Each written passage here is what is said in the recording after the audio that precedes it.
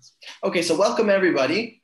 Um, of course, every time we learn together, it's exciting, but I'm particularly excited uh, about this shiur, our last one on Sefer Yechezkel, and uh, please God, we're going to finish with the Hadran at the very end, uh, at the end of, uh, of this, this shiur. Um, so maybe just by way of introduction, I want to start with a little bit of background. Um, the Rambam articulated for us 13 principles of faith, the Ikari Imuna, right? Fundamentals of faith, which he says are a prerequisite for a Jew to attain Olam Haba. If you want, you know, the world to come, the good side of it at least, so uh, you need these three, 13 principles of faith, um, you know, in your belief system. For example, says the Rambam, a Jew who says that uh, he doesn't believe in God, you know, God forbid, or uh, that he gave us the Torah and that Mashiach will one day come. So if any Jew explicitly denies any of those principles, so that's called heresy. It's a rejection of one of Judaism's fundamental principles. And again, it carries with it uh, a severe uh, spiritual penalty. But because it's so hard for us to remember all the details of those 13 beliefs, so we have a few different useful summaries, uh, you know, in our uh, liturgy. So for instance, in the back of our siddur, uh, many of us might be familiar, we have the 13 ani mamins, right? The 13 things ani mamin, which I believe in. And that's really, just to summarize, each one of those is a summary of one of the Ikari Amuna, one of those fundamental principles in a single sentence. Yigdal also, um, you know, which we sing is also a condensed summary of those 13 principles. So one of those 13 principles is the one that I want to focus on today because the concluding prakim in Yechezkel seem so dramatically conflict with it. So here's the ninth ikar. I'm going to go and, uh, and pull it up, uh, at least the way it's summarized in Animamin. So over here, which is the first one, this is the, the um, ninth one. So ani mamin be'emuna shalema, I believe with complete faith, shazos ha-Torah, this Torah, lo sehe muchlefes. This Torah will never be changed, it will never be exchanged. Velo Torah acheres me'es habore yisbarach shemon. There will never be another Torah, there will never be uh, another set of laws from, from uh, Hashem. So anyone want to tell me uh, which line in Yigdal that corresponds to for anyone who uh, remembers the, the song offhand? You're welcome to sing it. Lo Yachalif Hakel. Right, Bob's got it. Lo Yachalif Hakel v'lo Yamir Daso. Or for those uh, who will be even more helpful, Lo Yachalif Hakel v'lo Yamir Daso.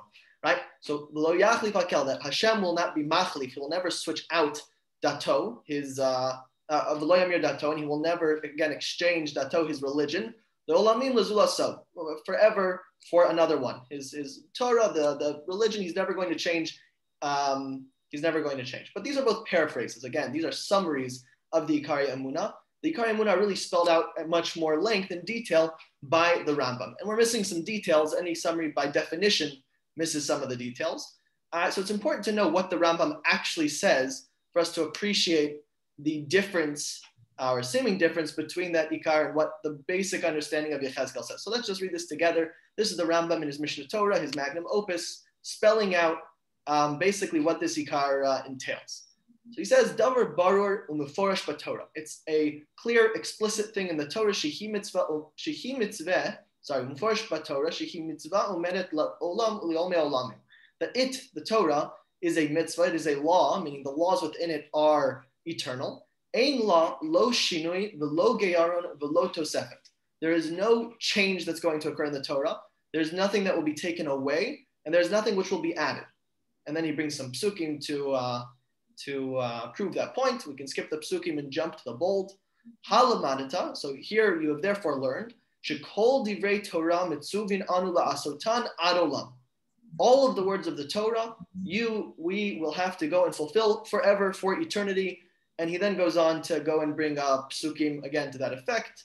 Um, we'll uh, we'll skip uh, we'll skip to here. Lefichach, bottom line on the page. Lefichach, im yamod ish bein min ha'umos bein mi Yisrael. If a person will come, whether he is a person from the Jewish nation, right, Yisrael, or from the non-Jewish nations, v'yaset osu mofis, and he's going to go and do a miracle. And also mofis are different types of miracles. V'yomar, he's going to say, Shashem shlachol hosif mitzvah ligro mitzvah. He says, I come and I'm coming to tell you that there's another mitzvah or there is one less mitzvah. You can forget about a mitzvah. mitzvah mina mitzvos mimoshe. He says, hey, you know that mitzvah which you thought meant X, Y, and Z? So here's a different explanation. I know you didn't hear it from Moshe, but really it's ABC. He changes the meaning of a mitzvah. Osha Amar Sha'osan HaMitzvah Shnistavu Ben Yisrael Einan Le'olam L'Dore Doros Ela Mitzvos Zman Hayu, or he says that no, those mitzvahs were only temporary. Um, so someone were to say that if a Navi were to do that, even if he were to do miracles, Harez Navi Sheker, he is a false prophet, because he is coming to go and contradict the Nevuah of Moshe. Moshe Rabbeinu's Nevuah was that we keep the 613 mitzvahs the way he said them, and all 613 of those, umisaso bechenek. And this prophet who's even doing miracles, if he tells you to do one of these things, we have an obligation as a nation to go and kill him with strangulation, you know, uh, not the most uh, pleasant of, of things because he is lying, he is a false prophet, and the penalty for lying as a false prophet is quite severe because it could really throw things off um, religiously. So just to clarify, so what's what's this ikar really when it comes down to it? The proper precise belief is that every single mitzvah will exist the exact same way forever. None of the mitzvot will ever change. And if a prophet ever tells you otherwise, so you know he's a false prophet and is subject to the death penalty. Good. So that's that, that's the background. Now it happens to be just for uh, just so that we uh, put all the all the details out there. It happens to be that the Rambam's opinion was not unanimously accepted in the times of the Rishonim. So uh, Rav Yosef Albo, who lived in the uh, early 1400s, he has a book called the Sefer HaIkarim, where he also goes through what he thinks are the principles of faith. And he disagreed. He says the Torah has changed many times. The Torah, so to speak, in Adam's time was very small. He was supposed to be a vegetarian, we know. And then it changes uh, in, in Noah's time. All of a sudden, Noah's allowed to eat meat. So you see, the Torah changed once. And it changed again in Abraham's time when the Gid Hanasheh became prohibited. All of a sudden, Abraham gets hit. And, uh, and now uh, Gid Hanash is a problem. And then uh, Matan Torah changes again when we're given the 613 mitzvot. Okay, so he argues that it keeps on changing. So he argues, what's wrong to say? Is it really so problematic to say it's going to change again? Just like it changed from Adam to Noah to Abram to Matan Torah. Maybe there's another change, he says. It can continuously change. There's nothing heretical about saying such a thing. But his opinion was always a minority view. Um, the overwhelming majority of our Mefarshim view Matan Torah as the culmination of the Torah's development. And Rishon after Rishon generally assumes that the Torah cannot and will not change. And that's become basically the normative view in Judaism, which is why it's in the back of your siddur in uh, Ani Maamin and why we sing it in uh, Yigdal, basically. Okay, so we're going to connect all this to, to, to Yechezkel in a moment, but all this is just, just the background so that we can really appreciate what's, what's going to happen. So just by the way, as an aside, can anyone tell me from a historical perspective why this Ikar is so important, so to speak, uh, or why it would be important to cling to this ikar? Because when the, when the temple's no longer there, you got to be able to carry the principles with you. Say again, I just couldn't hear. When the print, when the temple is no longer there, you have to be able to carry the principles with you wherever you are. Right, beautiful. Okay, so that's Vicky's got a great point. You got to keep up, keep the Torah no matter what's going on. Mm-hmm. Um, I, I'd say furthermore, maybe even you know we don't we don't think about this way, but when the Christianity started, right? What was their big claim? Their claim was everything the Torah is true, and it was very relevant in its time. But nowadays, don't worry, you don't need to keep the Torah anymore. We have a new Torah, right? So I'm not saying that the reason that this is a fundamental belief is because of the Christians, but it is a fundamental belief.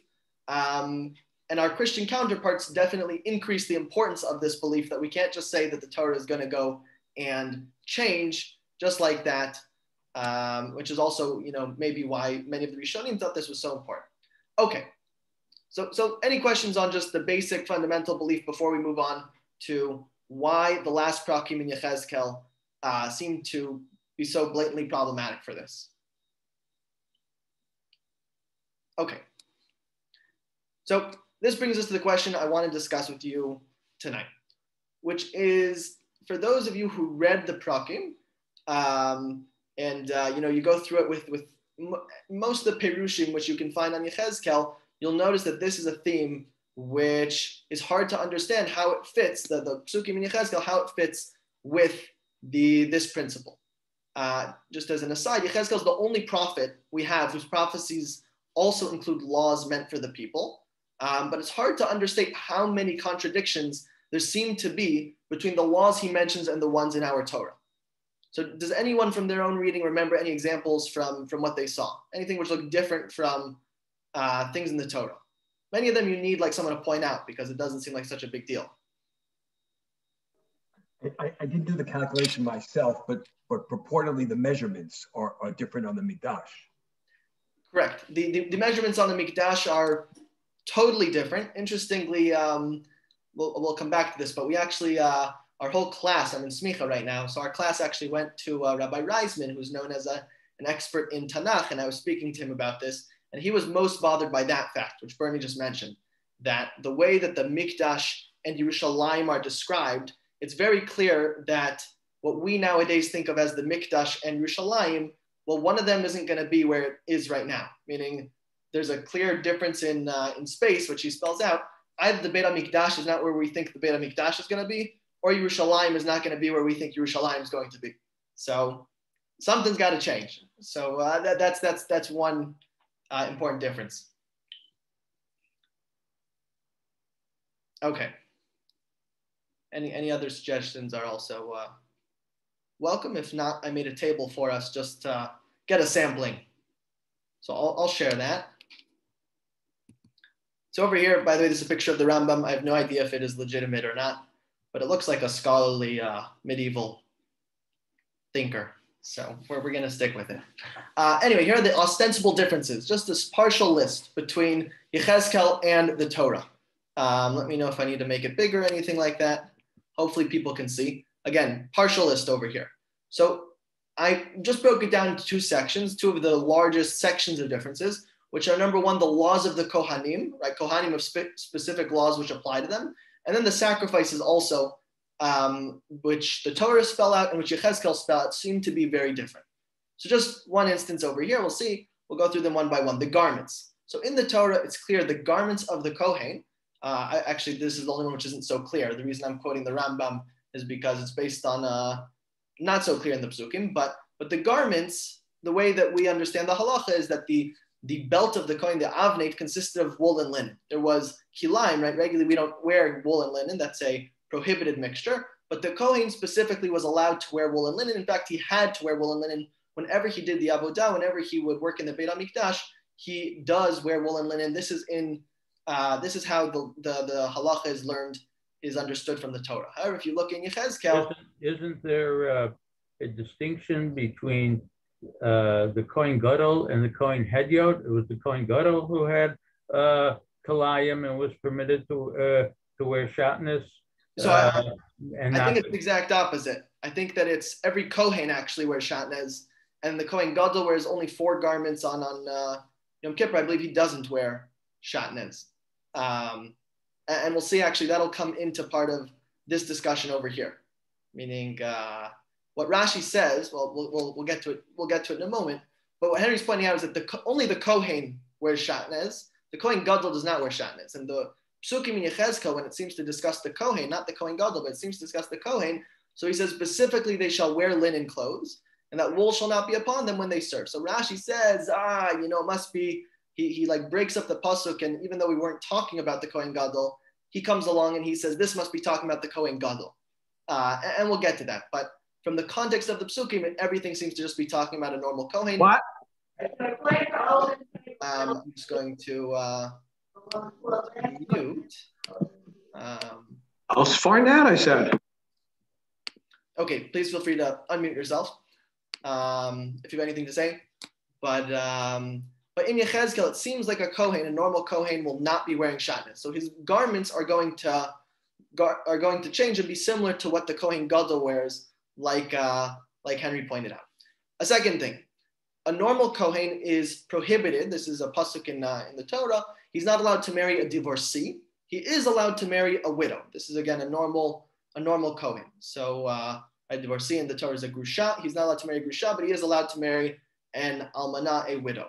If you look in Yechezkel, so he's got a very interesting halacha. He says a Kohen may not marry a divorcee, so that all sounds the same. But he says he also is not allowed to marry a widow. And then he throws in a caveat, unless she is a widow from another Kohen. So if she was married to a Kohen and then that Kohen passed away, so then he would be allowed to marry that widow. But if that widow was a, a widower from, from non-Kohen, so then it would be a problem. So he throws in this new category, which we never see in the Torah, of different types of widows. Okay, again, these are just examples. There are more than just these. One other example in the Torah, after a Kohen becomes Tameh, so he requires seven days of purification. Um, and then after those, those uh, seven days, there's a paradum involved, but then he's able to go and work in the Beit HaMikdash. If you read the Psukim in Yechezkel, it says that you have those seven days, and then it says, and then there will be another seven days. So all of a sudden, it requires 14 days before uh, being able to go and enter the Beit HaMikdash if a Kohen becomes Tameh. So those are just a few, there are others also, but a few of the main differences by the laws of Kohanim. If we go to the sacrifices, it's like, you know, left and right, night and day. So for instance, there's interestingly a korban which is talked about, which will be offered on the 14th of Nisan. That's the day before, um, the day before Pesach. Uh, he says one ox is offered. There is no ox which we're aware of in the Torah, which is offered the day before uh, the day before Pesach. Right, the day before Pesach, we offer the um, we have the korban Pesach, which we offer, but that's a sheep. That's that's a you know a lamb. That's not uh, that's not an ox. So we, we don't know exactly what that's, I meaning it's not that we don't know what it's referring to, but it does not conform to what the Torah seems to say at face value. Another, we're just gonna, you know, you can you can just see the differences here. On Pesach, what are the offerings? Yechezkel says two oxen and one ram. Torah says seven oxen, seven rams. They both share a goat chatat offering, but they the meal offering actually has different measurements for exactly how much there's going to be.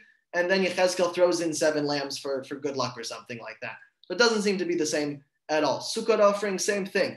Uh, the, excuse me, this is the Torah. Um, I have it all backwards. The Torah says two oxen, one ram, and then on the right side was, was Yechezkel. I apologize about that. Um, in the Torah, it says a descending number of oxen each day on Sukkot. You offer from 13 to 7. On the first day, it's 13. Second day is 12, 11, 10, 9, etc. as the days go on. Yechezkel keeps it at 7 all the time, the different number of rams. Again, different meal offering and the Torah has 14 lambs which aren't uh, mentioned in Yechezkel. And then Shabbos, again, you can just look at the chart. You can see that there are differences. The same thing's true for Rosh Chodesh. I didn't even put it on because uh, I, I, assumed people didn't need uh, you know every single difference over here. But at the end of the day, again, a partial list over here, but especially with regards to the Korbanot and with regards to the laws of the Kohanim, there are differences left and right. The differences seem dizzying. So how are we supposed to deal with this? You have you have one of the Ikari Amuna, right? One of the fundamental principles of faith. And the Rambam says explicitly, if a prophet's going to tell you a mitzvah is going to change, a mitzvah is going to added to or taken away from, you kill him. Like it's it's a, a very extreme punishment for someone who does this. And then Yechezkel seems to be doing exactly that. So I, I hope uh, you're bothered by the question. If anyone has any thoughts on on on that or questions, please jump in. But what was the basis of his changing it? I'm um, try, trying to figure out who just spoke. I'm sorry. Oh, Arthur, is that you? Yes, yes. I mean, on what basis did he make this change? How did he justify his changes? And why wasn't he killed? And why wasn't he killed? Right. So we wasn't know why he wasn't he killed. That was also a voice from heaven in the background. Um, so, so exactly. I, I think that that's that's really the question, right? On what basis did he do it? He doesn't say. He just says this is going to be the law, and uh, and he leaves us guessing. so maybe he was he came from a family of butchers, so it increased the number of uh, animals they sold. Ah, okay. that's, that's, uh, that would be a, a shot which we're not going to give in this class. well, the, the, assumption is that he has nevuah and that this this is what he was told by God, and then, you know God changes things, and this is you know if God wants to change the mitzvahs, you know it was the minority opinion, and uh, he's he's not doing it on his own. He's doing it what, what God told him. But I, I, hear what you're saying. But according to the Rambam, if a Navi says this is what God told me, he said we should change the mitzvah, so we should kill him. So so why do we trust him when he says God tells us this? Or what right does he have to do that?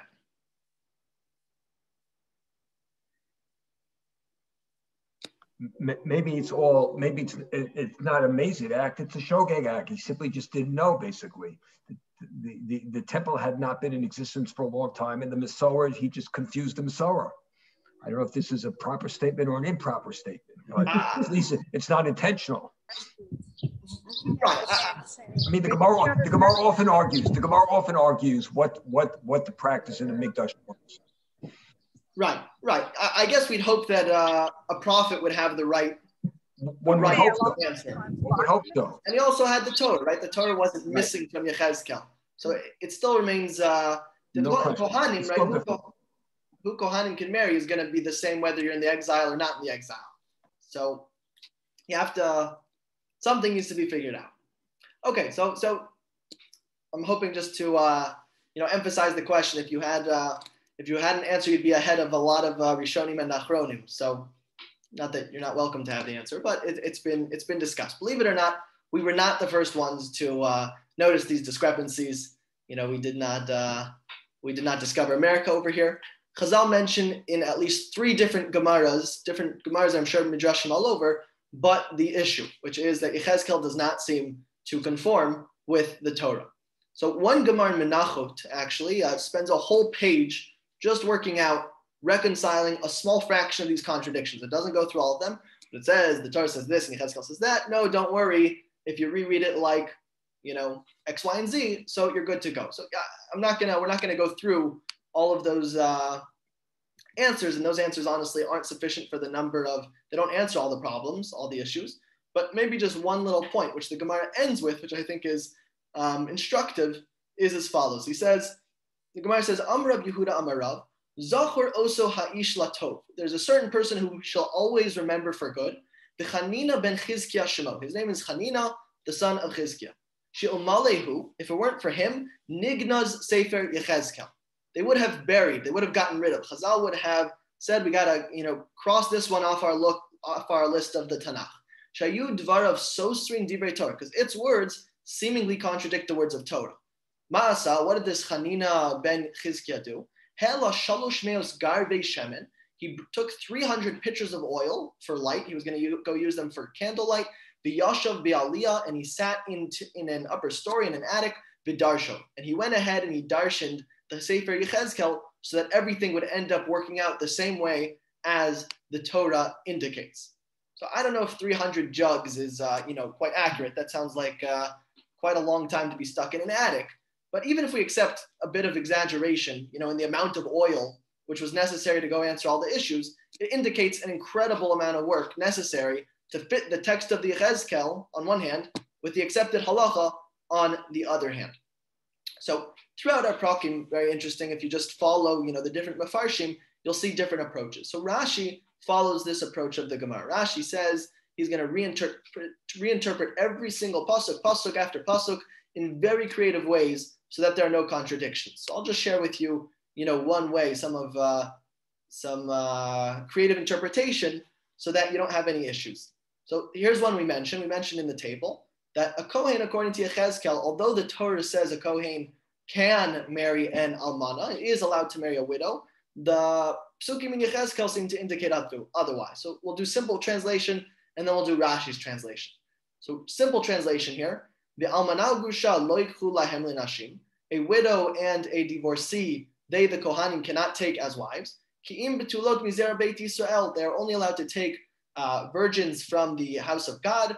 V'ha'almana asher ti'almana mikohen yikachu. And if you have a almana, if you have a widow who is a widow from a kohen, meaning her first marriage was from a kohen to a kohen, so then yikachu, you're allowed to marry her. That's that marry her. That's the simple, simple explanation of this pasuk. Problem is, it goes against the Torah. So how do you reread this? So Rashi says we have to splice this pasuk into two parts. The first part of the pasuk is going to be talking about a kohen gadol, who in fact is prohibited from marrying an almana in the Torah, from marrying a widow. And the second part is going to be talking about um, kohanim. So he reads as follows: The almana They're not allowed to marry again a widow or a divorcee, and that's that that's referring to a kohen gadol, the right the high priest. They can only marry a virgin. That's referring to the kohen gadol. And then a normal Kohen, big pause over here, period, end of sentence, new discussion without telling you that. This is a very hard read, but a widow who is a widow, That's, that's all it means. A widow who is a widow. Mikohain, Mikohain regularly means from a Kohen, but Rashi says Mikohain means certain Kohanim, like some of the priests, Yikachu, meaning the non-Kohen Gadol is allowed to marry um, an Almana, a, a widow, but a norm, but a Kohen Gadol cannot. So that's that's like uh, just one pasuk over here. We're not going to go through more than that. I shared the text with you in the source sheet um, of Rashi in source five, but um, in context, what, why is this different? Difficult because in context, it's clear that we weren't talking about the Kohen Gadol the way Rashi interprets the first clause, uh, but we were talking about a normal Kohen. So pl- splitting up the pasuk into two different types of Kohanim is also, you know, pretty creative. And the syntax is generally just strange. The word mikohain does not generally mean some Kohanim. It means um, from a Kohen, which is what the simple interpretation is. But that's what Rashi has, feels he has to do, right? Um, and unfortunately, we don't have the answers that Hananya gave to all the contradictions, save one Sifrei, uh, which answers some question about different measurements of mincha offerings. And Rashi actually bemoans this fact. Rashi says it's, you know, it's a tragedy that we don't have all of Hanania's work. He says in source six over here um, that uh, he quotes the, the Gemara we quoted recently, we mentioned earlier. They were going to go and bury Sefer Yechezkel, get rid of it. We have this Hananya ben Chizkiah who darshaned, who changed, who re- told you how to reread every pasuk. In our sins. We no longer have that uh, those you know interpretations. Mashadarash the korbanos ha'ele. Rashi is dealing with a specific issue in the korbanos. He says, I don't know what he did with these korbanot. Par be'abasar benisan lama. Why on earth is there a cow, a bull, brought on the 14th day of Nisan? So Rashi, Rashi is, you know, he's trying to stay within what Chazal tell us, and he's saying it's it's hard, you know. There's so many psukim I have to reinterpret, and the interpretation is not um, easy. So it's just noteworthy that this approach of Rashi is very unique to Rashi. So if anyone's ever read through Rashi's commentary on the Torah, he says all the time, I'm here just lefarish pshuto shel mikra. My goal is just to explain the simple reading of the text. And he'll say, I'm not going to quote to you the midrashim, you know, all the special uh, uh, exegesis, which doesn't seem to fit the simple text. Um, I give you one source uh, in in, uh, in source seven. I put one source uh, on on the sheet. Um, I'll share with that. I, I, I, don't think I put it on the chat, so maybe I'll just do that. By the way, um, I did put one source, source seven, where Rashi does that. Um, but uh, but what's clear is that in our chap- chapters, in, in these chapters in Yechezkel, Rashi says to the end of my regular rule, I'm not interpreting Pshuto Shel Mikra, I'm not interpreting the simple explanation because it seems to contradict the halacha and it cannot be the intended meaning.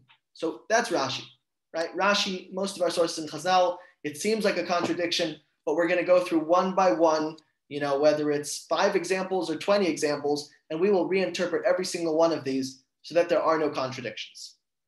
Okay, that's that's approach number one. Uh, approach number two, I think, is much more exciting. Um, but any thoughts before we move on to that approach? Just about Rashi and this basic, this basic, you know, approach to the issue. Okay. So the other approach, you can guess, right? If the first approach is to say there's no contradiction, the second approach is going to be to say that there is a contradiction. So approach number two is to do the exact opposite of Rashi we're going to take all these contradictory psukim at their face value, and we're going to accept them. It's not even a minority view. This is not, uh, you know, this is most definitely a widespread view. It's taken by many Rishonim and Achronim. So, just for example, the Radak, he's living in the 1200s. Um, so he gives, he, he takes this approach. 200 years later, the Abarbanel says the exact same thing. He's in the 1400s. And then, in case you just thought maybe there's just a few Rishonim who said this before Ani Maamin got into our Sidurim. By the way, Ani Maamin got into our Sidurim, I think, at the end of the 1500s. So it's, it's been uh, it's been well established. But the Malbim is the third big hitter who takes this approach. He's all the way in the 1800s. So according to them, according to the Radak, the Abarbanel, the Malbim, and others, but you know those are probably our uh, uh, that's that's more than enough. Shockingly, it seems that the Torah laws will indeed change. So, for instance, Kohanim are not going to be able to marry many of the women who they previously were permitted to. Um, they'll be wearing different priestly garments when they serve in the Beit HaMikdash, and they'll need an extra week of purification after becoming Tameh before they can work in the Beit HaMikdash, right? Those are just some of the examples. In fact, even when the Pshat can conform to the halacha, even when, uh, you know, maybe not the easiest read, but an easy read could fit with the Torah we have, the Malbim gets so excited with his approach. He says, nah, you know, you could have read it like it fits, but it doesn't fit. And I'll show you why it doesn't fit. And he very comfortably interprets them as being very different. So, for instance, uh, he interprets uh, certain psukim as saying the Kohanim will have a new requirement. Uh, this one, uh, you know, is going to be hard during COVID, but we'll have to get a haircut like the Kohen Gadol. They have to get a very specific haircut, very short.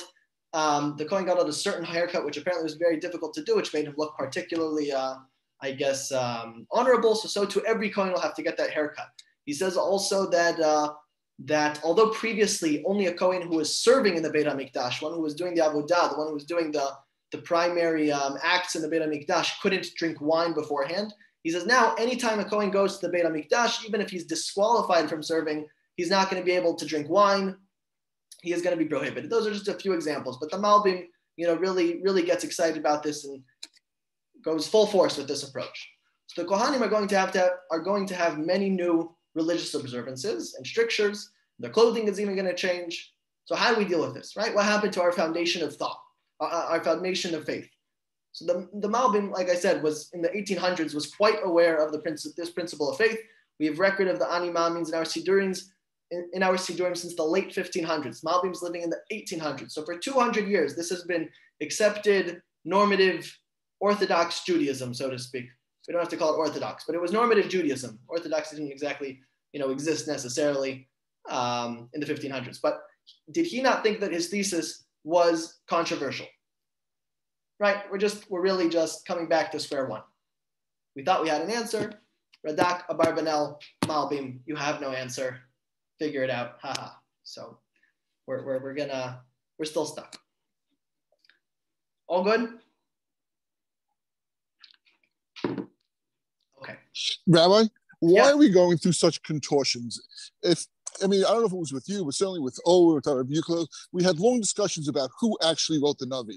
Was it written in the in the, in the lives of the Navi? Was it written later? Was it written by the beis medrash later? So if, if it, you know. If it was written later by other people who were just recalling what the Navi said, maybe perhaps errors did happen, or maybe there was a rada when, they were, when it was transcribed from one cloth to another. You know, why do we have to go through this contortions to mesh them and, rather than just say perhaps there was an error in the Navi. I, so I'm not sure which discussion you're referring to. It might have been the one which we had, but even those who say that Yechezkel and other Navim weren't written by that Navi themselves, don't say that the words of that Navi aren't to be taken, you know, with uh, incredible um, seriousness. And it's not that people are doubting the veracity of that tradition. It's just a question of was it written by the Navi himself or was it the ideas of the Navi which were passed down? But at the end of the day, you know, these words are canonized. Um, we, we learn so much from what the Navim say. So whether it's exactly him or it's a very strong, strong tradition of what he said or scrolls of what he said later, so uh, I think still you have to take very, very seriously what he says and try and fit it with, with um, you know, the accepted halacha. Okay. Uh, I have a question. Uh, Yeah. This regard this regarding Rambam. Didn't he feel that the um, korbanos were really not really ideal at all, and that perhaps one day we're not going to have to have them? I don't know. Did he go that far? That you know we're not going to have to do korbanos altogether? So that's changing a lot. That's that's major change. I think I think he said that korbanos were never intended, and that and that um, Hashem kind of realized, if you want to say it that way, that everybody else had korbanos. He knew that the Jews would start to ask for them, but that actually we were not supposed. That's what I I once learned, that the Rambam thought we weren't supposed to have korbanos. Right. So, so I once gave a shiur on this topic. I don't want to get too sidetracked on the details of Korbanos specifically, but the Rambam is clear actually um, that korbanot are going to occur in the times of the Beit HaMikdash. We can talk Uh-huh. at some point about Rav Kook. Rav Kook in one place seems to say otherwise, but the Rambam says they're b'diavad. They weren't an ideal form of service, but at the end of the day, God put it into the system, so we're gonna we're gonna the system's gonna stay this the way that the system was written. So within the Rambam, the Rambam is uh, very consistent that the mitzvot are not going to change. Um, Mhm. But but actually, we'll get to your example because because shortly we're going to discuss maybe there are other examples of contradictions to this principle um, outside of Sefer Yechezkel. Okay. So I spoke. I have uh, learning in uh, Yeshiva University, in the Beit Midrash. There, I have the privilege of having quite a few big, you know, rabbis who are quite the scholars to just discuss things with. So uh, I spoke with two people, uh, Rabbi Wiederblank and Rabbi Twersky. Uh, both of them are experts in the area of Jewish thought and uh, Jewish philosophy. Um, and both of them told me that they didn't know offhand. Uh, one of them I actually spoke with three or four times and kept on telling me he hadn't yet figured out the answer. Um, but but this this is a, a question which bothered them at the very least. I had the opportunity last week with my class. We went to Rabbi Reisman. Uh, he's a renowned expert in Nach as well as a notable posek um, in America. I asked him. We had an open question answer. I asked him, you know, what's the answer? He said he's had this question for a very long time and he did not know what the answer was. So uh, it's it's a question which a lot of you know big minds have struggled with. Um, I found in my research of this only one answer, you know, which maybe answers the question. And Rabbi Wiederblank, who I spoke with, said you should check this book. This book probably will give you an answer. So the book was uh, written. It's like uh, one of the back when Art Scroll like they, they had much thicker volumes. So they had like a three part series on Sefer Yechezkel. It was written by Rabbi Eisenman. I don't know exactly who that is, but he's apparently the expert on Yechezkel. So Rabbi Wiederblank said if you, you know, you mind that book, you'll find an answer somewhere. So he does in fact have an answer. Uh, props to uh, Rabbi Wiederblank for, uh, finding it. So maybe before we get to that answer, you know, we'll just we'll just give it by way of background. Um, you know, this isn't the only place where we have seeming contradictions from our sources to the, this principle of faith, right? There are plenty of midrashim and chazal, like one we just mentioned, maybe something Rav Kook picks up on, that seem to say mitzvos are going to change in the future. Like maybe we won't be offering korbanot in the future. Or there's other instances where there, uh, there's a midrash floating around um, that pig will one day become kosher. Maybe uh, you've heard of that one. Or uh, that in the times of Mashiach, all the holidays will be nullified besides for Purim. Whatever, these midrashim are floating around.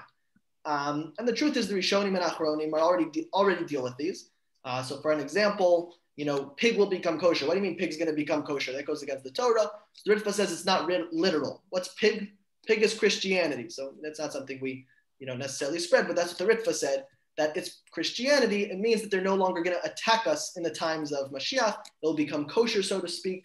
Alternatively, the Or HaChaim says it is literal. Pig will become kosher, which is very exciting for those who don't particularly like fake and bacon.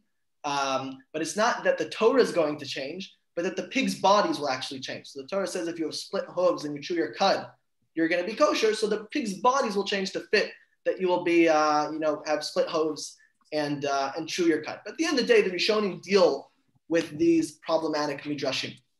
So there's one one Rishon the Rashba who is normally thought of as uh, as uh, an analytical Talmudist and halachist, but he actually wrote a commentary on the non-halachic parts of the Talmud as well. Um, and in one place, he spends a lot of time focused on these questions. He goes through many examples and he concludes that none of Chazal's words violate this principle. And mitzvot cannot change or be nullified like we would expect him to say. What's fascinating though is that there's one particular example in which he doesn't feel the need to reinterpret it. He says, no, that one's actually, that one's fine. So, so what's that one which is fine? So there's a Mishnah in Brachot. There's Mishnah in Brachot, uh, I saw it in the Gemara. So on the Gemara, it was on Yud Bet Amud Bet on 12b. It discusses a mitzvah which does not get too much press. There's a mitzvah that we should all remember Yetziat Mitzrayim. We should remember the exodus that we left from Egypt every single day. Now, how do we do this? So we do this because it's in our text in Shema, at the end of Shema in the paragraph of Vayomer. So we say at the end, Ani Hashem Elokeichem, I am Hashem your God, Asher Tzeisi Eschem Eretz Mitzrayim, who took you out of Egypt. So boom, just like that, you read a line and you fulfill your obligation to remember uh, being taken out of Egypt every single day. So for our purposes, What's important is that the Chachamim in the Mishnah thought it would be a requirement in the times of Mashiach as well, while it seems that Ben Zoma disagreed. There was this Tana called Ben Zoma who disagreed, um, which brings us to the following source. Let's jump a little bit to source nine. The Gemara says as follows. What's this discussion between Ben Zoma and the Chachamim? Tanya. The Brisa says, Amar lehen Ben Zoma lechachamim. Ben Zoma said to the Chachamim, V'chimaz kirim yitzias mitzrayim limosa Mashiach. Will we really still remember, will we still mention Yitzias Mitzrayim, the Exodus, in the times of the Mashiach? But there's a pasuk which says the exact opposite in Yirmiyahu. Behold, the days will come. We won't say anymore that this is the God who took me out of Egypt. But rather, this is the God who took me up and brought me from the northern land, and from all the lands sham, uh, from all the lands which they, they had been driven to. So basically, Ben Zoma says there's this pasuk in Yirmiyahu, which says we're no longer going to remember um, Yitzias Mitzrayim in the future. We're not going to have to remember the Exodus. Rather, we're going to remember the miracles which took place right before um, the coming of, of uh, you know, Olam Haba or whatever it is, the Mashiach, when we're all brought together, uh, not on, you know, maybe through El planes, but some, some way to get us out of the Galut and into Eretz Yisrael together, the miracles which occurred over there. So to summarize, right, Ben Zoma is saying that in the future, the mitzvah of remembering the Exodus is going to change. In the times of Mashiach, rather than mention the miracles of Egypt, we're going to mention the miracles which bring about the final redemption. So it sounds very similar, right? Like a total change of a mitzvah, like changing the garments which a Kohen wears. So the Rashba deals with that. The Rashba deals with that. And he says it's not a problem. He says, why isn't it a problem? He says that the mitzvah to recall the Exodus is fundamentally a requirement upon us never to forget God's hashgacha, his providence, and miraculous intervention on behalf of his people. So after redemption occurs, after you know the geula happens, it'll be even better illustrated by those miracles which brought about the geula than the miracles of the Exodus. So he says the mitzvah hasn't changed; it's remained, in fact, essentially unchanged. We're remembering God's providence. Sounds quite like uh, so, so it's quite an idea. So Eisman suggests, just to pull it together here, he says maybe the very same line of reasoning underlies what's going on over here, the Radak, the Abarbanel, and the Malbim over here. He says the mitzvot are indeed internal, eternal, right? Yechezkel simply reveals that certain details will conform to reflect the new circumstances of greater sanctity. So the higher standards imposed upon Kohanim reflect that greater sanctity. And almost all the changes reflect some increased level of chumrah, some increased level of stringency. Why? Because the level of kedusha, the level of spirituality is going to elevate at the times of uh, at the times of the redemption, and the level of the kohanim are going to increase from normal kohanim to closer to kohen gadol, to closer to that of the kohen gadol, the high priest. So their higher sanctity will mean that they don't wear wool, just like the high priest doesn't wear wool. Um, like the, the kohen gadol who only wears wears linen. That's that's his approach. Why are people snagging this $89 portable AC? I recently discovered how to refrigerate any room. Yeah. Um, uh, I have a question though on um, the, uh, one of the uh, uh, one of the differences that that you didn't include in your list is the one at the very end of that chapter, that the, the one about dealing with the Kohanim, is is that uh, the Kohanim will not eat from the nevela utrefa min the behema min ha'of min ha'behema. So doesn't that imply that it's only the Kohanim who will not be allowed to eat from Nevela Utrefa? And thus, in a sense, it seems to imply that, that Yisrael would be allowed to eat from it. That's interesting. Um, I don't remember exactly how the um, deal with that. I do remember them asking the question that no one's allowed to eat an Nevela Utrefa, not a Kohen and not a Yisrael. Um, I, I, look, I think it's I, I, I think it's okay to repeat a stricture in Esau. I don't think that contradicts what the uh, what Rav is saying. Basically, it's just it's just repeating among the Cohens. You're right. It applies to other people. Okay, it applies to other people. I don't see that as a it, it's it's a it's a point or a question. I don't think it's overwhelming. Uh, yeah, but with all due respect to the Torah. Yeah. But but but Yecheskel's trying to highlight as, as you said, the higher level of kedusha right. of the, okay. the kohen, and so in a sense, by by highlighting it, it seems to diminish the level of kedusha of, of a non-kohen. Okay. So, yeah. Point well taken. I'll have to get back to you on that. I do. I'm trying to remember. There was some. The way one Rishon, at least I saw explained, was that for some reason you would have thought that a Kohen nowadays is allowed to have a Nevela. I can't remember why. But now that's no longer going to be the case, meaning everyone will still not allowed to be have a Nevela. But we specifically had to tell you also Kohanim. I can't remember what why that is. So I'll have to um, I'll, I'll, have to get back to you about that. Okay, thanks. Question. Yeah. Uh, just, just, just a note. Uh, rabbi Eisenman is the the rabbi of uh, Avos in Passaic. Really? Where, where okay. the town goes to show.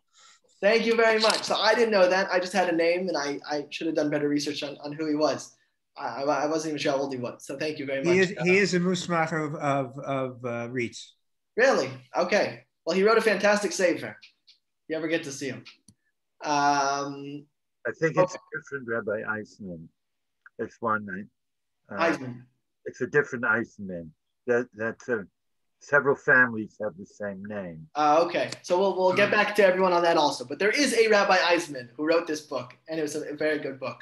Um, so there are more sources in this source sheet. I don't think that um, time permits for us to necessarily go through them properly, but I just wanted to demonstrate with with uh, some of the sources. You can go through them on your own time now that it's shared, but uh, also I believe it was sent out via email.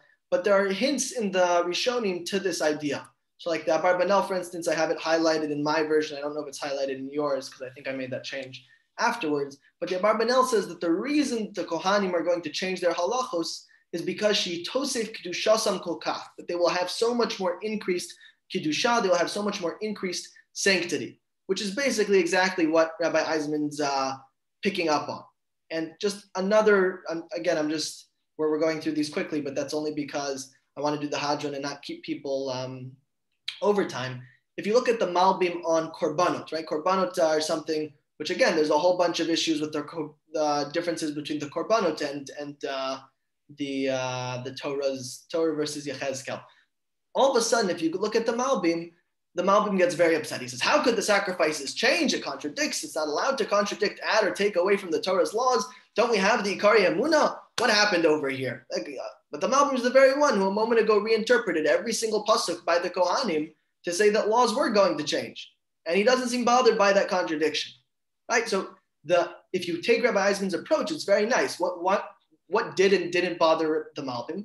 The Malbim was comfortable saying that there's going to be more strictures, there's going to be more chumrot, which the Kohanim keep because they're on a higher level, and their begadim will re- reflect those of the Kohen Gadol because they're on a higher level. But for the korbanot to just randomly change, if you look at this list, it's pretty hard to figure out how uh, how anything correlates to anything. You know, uh, okay, so we have a few more uh, oxen and rams over here. We're missing seven lambs on Pesach. Um, for some reason, we're no longer descending the number of oxen. Instead of 13 to 7, it's always 7. Like there's no rhyme or reason to why these these uh, korbanot change. So the Malbim has a whole approach to answer the, the korbanot. What he basically says is that the korbanot mentioned here in Yechezkel are not the korbanot to which we think of as the regular ones, which are a requirement every year. But this was a one-time horat shah. It was a one-time consecration offering. They were trying to uh, bring extra korbanot just one year um, to, to go and kind of consecrate the new Beit HaMikdash. But this has nothing to do with your average Pesach, Sukkot, and Shabbos offerings. All those would be brought anyways. And then these are just a one-time addition, but not a change or addition to a mitzvah. A change or an addition to a mitzvah is something which is eternal. But a one-time thing, we have Horat Shah, we have things which a Navi says to do all the time, right? Eliyahu says, uh, come to Hara Carmel, I'm going to go build a bama. It's okay for a Navi to go and tell you to do a one-time thing. So the Malbim basically reinterprets all of the sacrifices. But why does he feel the need to reinterpret everything? He feels the need to reinterpret everything because it doesn't fit with this beautiful approach of um, revising. So just because we, we do have a, a hadran, I'm, I'm truncating a little bit just so that we make it and that I'm not taking up uh, everyone's time any more than, than what's allotted over here. I just want to, you know, conclude a little bit, and I'm around afterwards to speak for as long as uh, anyone would like to. this is the best answer I could find, right? I, I met a lot of people who were bothered by the question. Today, I had the opportunity, just today, I finally had the opportunity to speak with Rav Twersky, um, again, one of the one of the experts in uh, Jewish philosophy and Jewish thought. I told him, you know, this approach of, of the Rashba. I was excited to tell him, like, I found an answer. You know, what do you think? I basically asked him. And he was not so excited. Um, you know, he said that, what? So all of a sudden, as long as you're fulfilling the main reason of the mitzvah, you know, now it's now it's okay to just change the mitzvah. So he actually gave me an example. He said, we have a mitzvah on Hanukkah, right? To go ahead and be mefarsem the nigs, to go publicize the miracle that happened on Hanukkah. So he said, I have a great idea. What's the best way to publicize the miracle of uh, Hanukkah nowadays? Just put it on Twitter. You don't need to light a Hanukkah menorah. Just write, God, you know, saved us in the war and the oil stayed lit. It was, you know, lit, so to speak, uh, for those uh, who knows how, know how other people speak. But he said, obviously, that's not the case. You can't just say, I'm trying to fulfill the reason, so now I can get rid of the, the mitzvah. We don't generally take such a such an approach. It's at least not the uh, orthodox approach, that's for sure. So what what exactly does the Rashba mean that you can just change the mitzvah to fulfill the reason? And what does uh, Rabbi Eisman mean that we can just, the mitzvah can change because the Kedusha changes or new realities change, you know, the best way to fulfill these mitzvot. So he wasn't sure. He said, obviously, it's not comparable to the, you know, Chanukia case on Twitter. Um, but maybe it's only when there's a pasuk, when there's a verse which tells you that there's going to be a change. Maybe that's different than when we just make up that distinction on our own. But he was he was hesitant. Um, so you know, I'm not sure. maybe, maybe um, uh, uh, I'm not sure, right? So I, I, hope there's something that's right. It needs still some uh, some hammering out.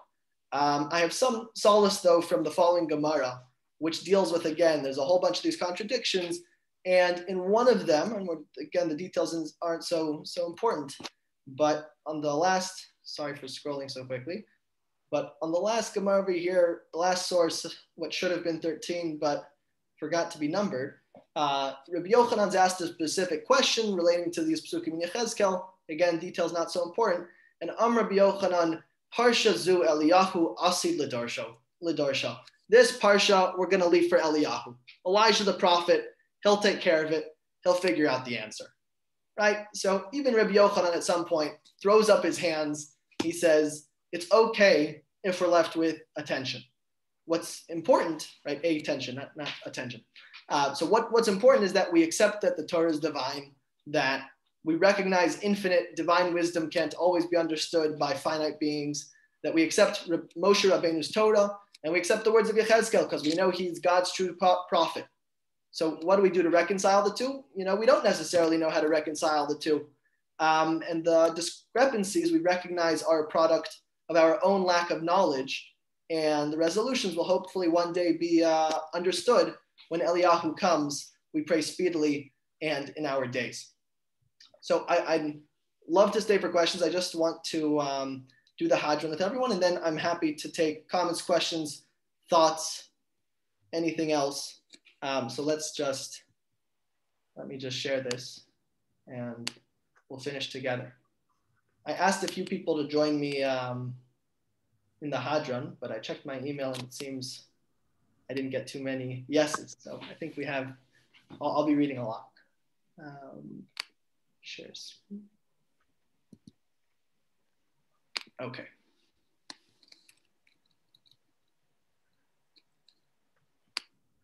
So first of all, a huge mazel tov to everyone for finishing uh, those who those who finished uh, Sefer Yechezkel and those who didn't for coming just to listen to these shiurim. Yechezkel is a very underappreciated and understudied Sefer with, you know, a lot of gems in it. Um, I definitely enjoyed learning it and giving these shiurim. So a big yasher koach to everyone on this list, everyone not on this list, and we apologize for any omissions. Just gonna leave it here for a second. He's a jerk. Okay, so without further ado, going to start the Hadran. Please, uh, Bernie, start us off. I'm going to do this b'schos uh, Asher Yecheskel. Hadron alach Sefer Yecheskel, Hadron alach Dadach alach Sefer Yecheskel, Dadach alan, Lo nitnashem minach Sefer Yecheskel, Lo titnashem minan. Lo bal ma'eden, Lo bal ma'date. Hadron alach Sefer Yecheskel, Vadrach alan, Datach דתן הלך ספר יחזקאל ותתך עלן, לא נתנשם מן ספר יחזקאל ולא תנשם מינן, לא במעדן, לא במעדתה.